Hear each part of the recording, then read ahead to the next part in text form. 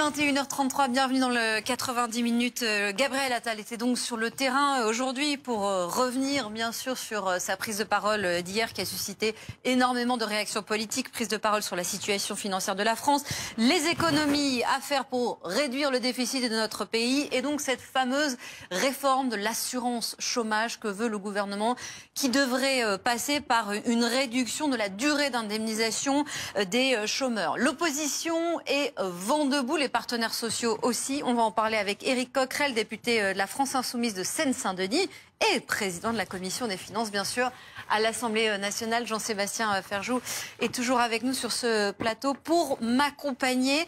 On va écouter le Premier ministre qui a donc répondu à ces critiques à deux partis en particulier.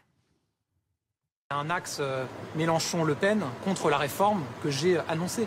Mais ce n'est pas une surprise, parce que ça a toujours été ce logiciel-là. Ce n'est pas une surprise, on ne découvre pas que euh, M. Mélenchon et Mme Le Pen, sur les questions de travail et de social, c'est un seul et même parti. Extrême droite, extrême gauche, même combat contre le travail, une forme de parti du tout allocation. Nous, c'est pas ça notre logiciel et c'est pas ça notre logique.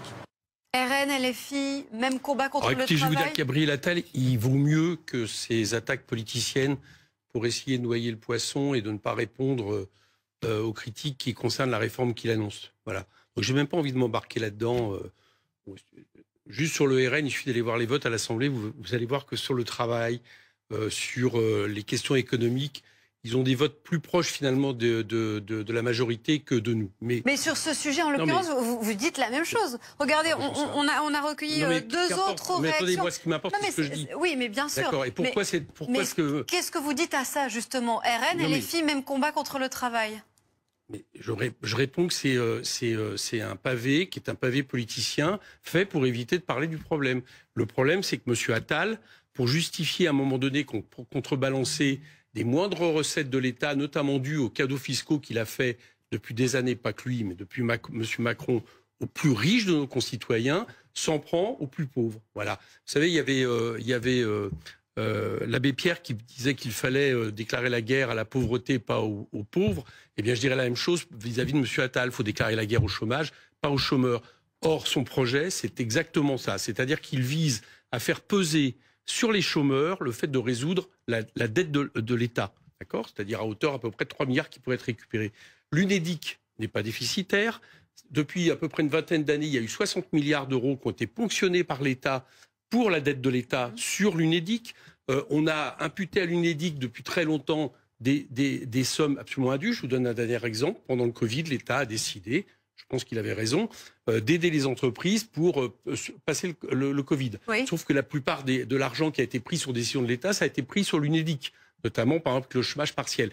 Donc, il prend, il prend cet argent-là et pour le justifier, il nous explique qu'en réalité, euh, les responsables du chômage seraient les chômeurs. Alors, manque de chance, il se trouve qu'il est en totale non, ce qu'il explique, c'est qu'il faut faire bouger le système pour une reprise de l'emploi. Oui, c'est ça. Donc, il n'y a pas d'emploi, il n'y a pas de progression de l'emploi à cause des chômeurs. Alors, manque de chance. Il a, euh, la dernière fois qu'il a défendu une réforme comparable qui augmentait à la fois, qui baissait la durée d'indemnité et qui baissait l'indemnité. Il a expliqué qu'il le faisait parce que euh, c'était euh, dans un moment où le chômage régressait. Et, enfin, lui, en tout cas, c'était même bon, mais bon, c'est le même principe. Et qu'il se faisait fort, si jamais à nouveau la conjoncture s'inversait, euh, de ne pas euh, utiliser ce genre de procédé. Eh bien, la, conjoncture est en train de s'inverser. L'INSEE annonce 7,5% de chômage à la fin de l'année 2024 et il continue les mêmes mesures. Je vais vous dire pourquoi il fait ça. Pour récupérer de l'argent pour l'État. Et puis, deuxièmement, parce que c'est bien pratique. Quand vous amenez un certain nombre de chômeurs en fin d'indemnité, là, on, pense que ça va euh, concerner peut-être 400 000 personnes. Eh bien, c'est des gens qui n'apparaissent plus dans les statistiques.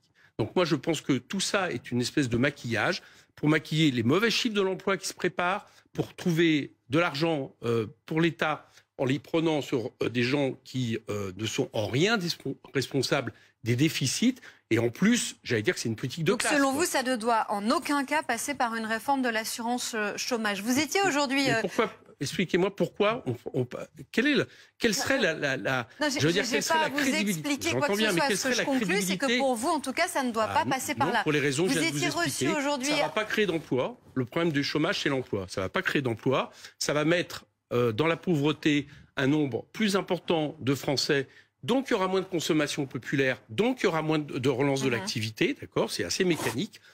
Et en plus de ça, euh, ça va, euh, j'allais dire, euh, produire, produire une inégalité et attaquer nos comptes sociaux et ce qui est issu du, travail paritaire entre les syndicats et les patronats, puisque c'est là-dessus que c'est adossé, pour rembourser la dette de l'État. Bon, enfin, tout ça, tout ça n'a pas de sens. Sur ce point, Jean-Sébastien je voulais revenir là-dessus. il faut rappeler aussi le contexte. Il y avait une réunion aujourd'hui à Bercy autour de Bruno Le Maire. Parce Il n'en a pas parlé. De l'assurance chômage Absolument pas. Pas du tout. Non. Juste, j'explique à ceux qui nous regardent. Le gouvernement voulait entendre les propositions des parlementaires. il a écouté nos propositions, mais il n'a pas parlé des propositions du gouvernement, notamment celle-ci. Ah, vous avez parlé de quoi du coup? Bah, Il a écouté nos propositions. Donc Et vous, vous avez proposé quoi? Ah bien, le, sujet, c'était euh, Qu'est-ce qu'on fait par rapport aux chiffres de l'économie qui ne correspondent absolument pas aux chiffres annoncés par le gouvernement à la fin de l'année 2023 pour la loi de mhm. finances D'accord? Donc on a eu un premier épisode. Si vous vous souvenez bien, le gouvernement avait annoncé 1,4% de croissance pour 2024. Tout le monde, tous les économistes sérieux, toutes les institutions, la plupart des députés, dont moi-même, avaient dit ce chiffre n'a aucune réalité. Ça a été le cas. Le gouvernement vient de corriger, mais ça lui a permis de pas en débattre dans la loi de finances euh, euh, en, baissant de 10 milliards avec un coup de rabot où on ne sait même pas où va prendre l'argent. Parce qu'au moment où je vous parle, les ministères sont en train de plancher sur cette question. Il a, il a pris 10 milliards de dépenses publiques et maintenant, comme le déficit est supérieur euh, de, de, de 0,6 points, c'est énorme par rapport à ce qui est estimé, il demande à tout le monde de travailler sur comment on va faire.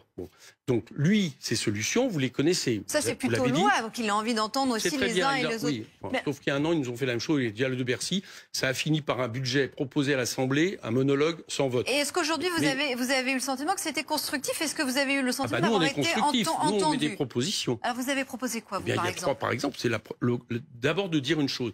Si vous avez augmentation des déficits, et ça, personne ne le nie, c'est pas parce qu'il y a plus de dépenses publiques, il y a eu plutôt moins de dépenses publiques l'an dernier qu'en 2023 qu'en 2022, c'est parce qu'il y a moins de recettes. Mhm. Pourquoi il y a moins de recettes Parce que la croissance est moindre.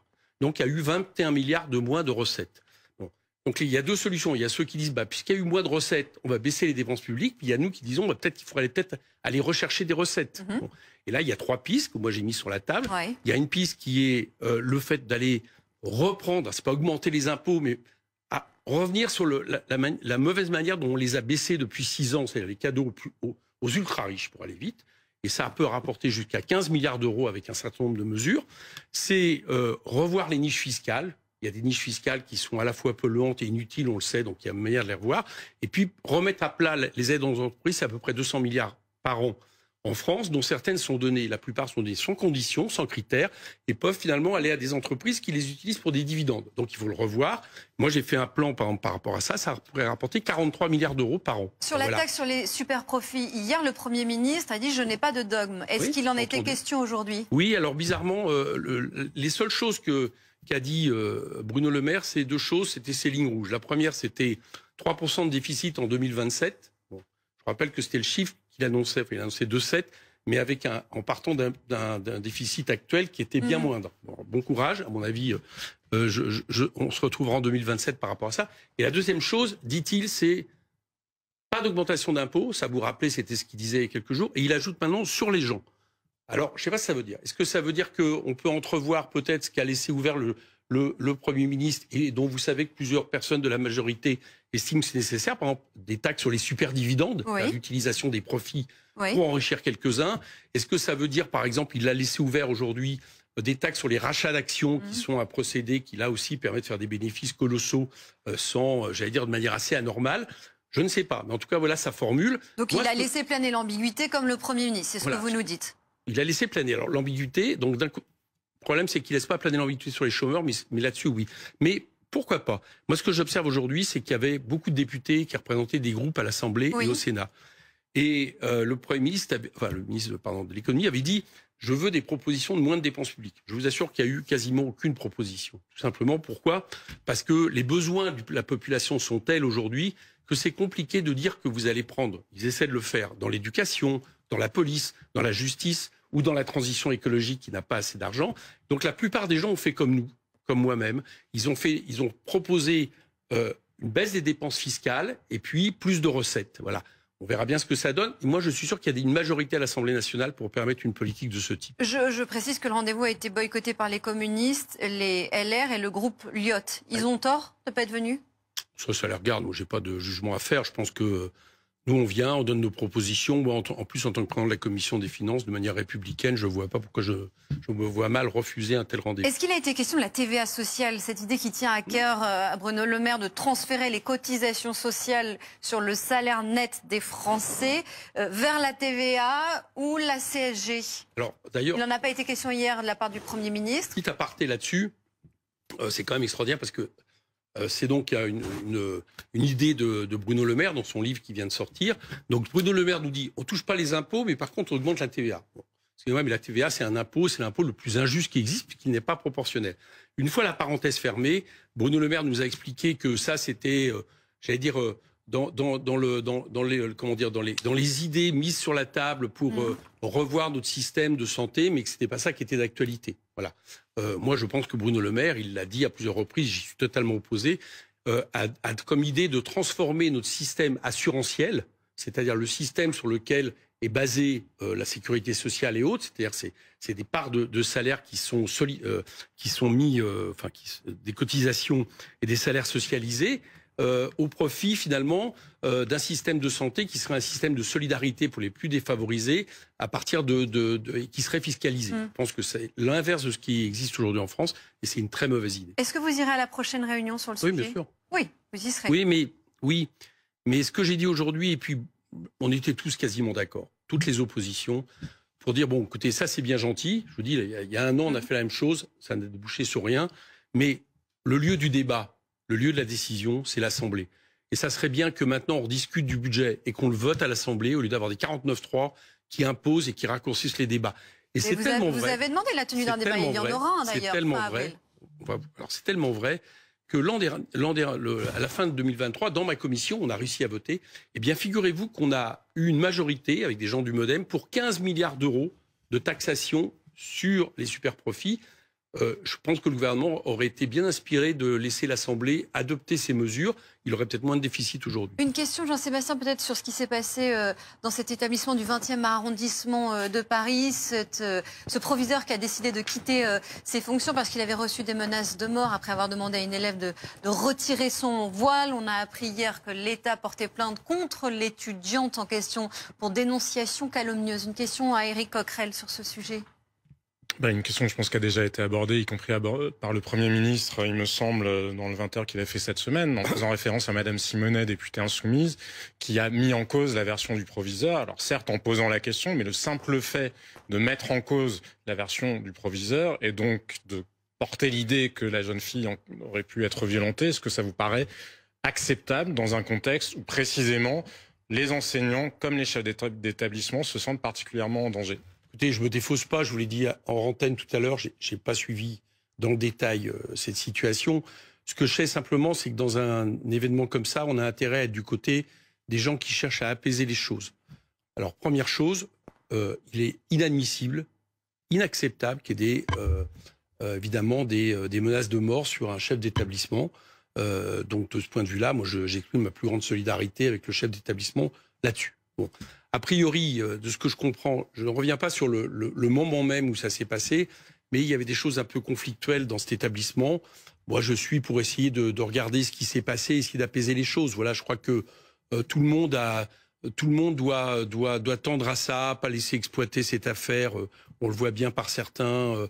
voilà, moi c'est un peu mon raisonnement. Est-ce que tenir des discours sur l'islamophobie et dire par exemple que l'interdiction de la baya relèverait d'une forme d'islamophobie de la République là, française, sujet, non, parce que je pense qu'il y a une continuité entre le voile et la baya. Les, deux, les deux sont liés. Je, ne crois pas. Si, Est-ce que vous pensez que c'est de l'entrisme islamiste qui s'est passé la dans, laïcité. dans ce lycée du 20e arrondissement? Vous ne diriez pas, ça? D'après les informations que j'ai, non, ce n'est pas ça. Vous parleriez de quoi alors? Je veux dire d'une situation où manifestement, ce que j'ai bien compris, de ce qu'on me dit, une jeune femme, à un moment donné, dans la cour de création, s'est retrouvée à remettre son voile. J'ai pas très bien compris exactement la situation, mais ça, Elle on peut portait pas. un on peut voile, pas- le proviseur lui a peut demandé de le retirer au nom de peut pas- la laïcité, tout mais simplement. je réponds à votre question.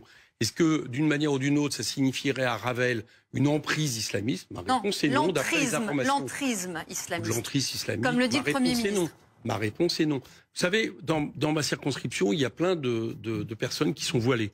Je peux vous assurer, venez discuter avec elles, vous verrez que euh, elles mettent le voile par euh, fait culturel, par habitude, peut-être aussi, euh, euh, je vais dire, par, l'évolution d'une religion. Mais je vous assure, je vous assure que vous seriez étonné de découvrir qu'elles n'ont rien à voir avec l'islamisme. Donc Merci. attention aux caricatures qui, au bout d'un moment, deviennent effectivement pousser au bout une, une possibilité d'islamophobie. Et Merci on n'est pas en beaucoup. reste dans ce pays à ce niveau-là.